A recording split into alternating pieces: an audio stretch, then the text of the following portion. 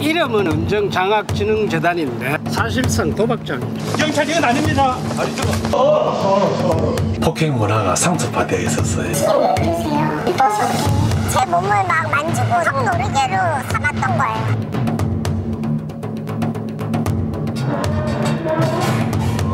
부처님 오신 뜻을 행복합니다. 용사 조지 상원입니다.